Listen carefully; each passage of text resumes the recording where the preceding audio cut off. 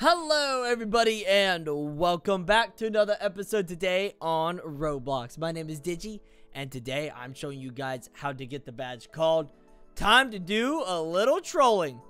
Problem? No, sir, no problem at all.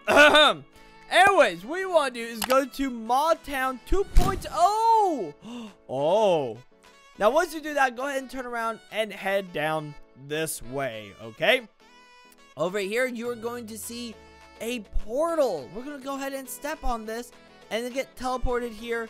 Head over to the edge and you're going to see a Trollge ball with all the troll faces.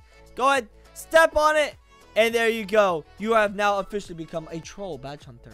Alright, here we go. Time to do a little trolling. So we got classic troll. Then we got a very scary troll. And then we've got nightmare fuel troll. Let's become that one. Let's do that. Oh, this is fantastic. This is what every child dreams of having as a pet. Forget about dogs. Forget about cats.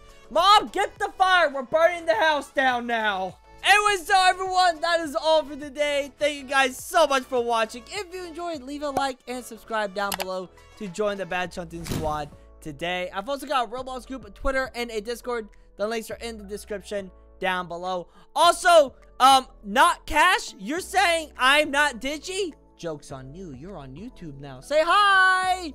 Anyways, I love you guys. As always, stay awesome, stay cool. Good luck, badge hunting.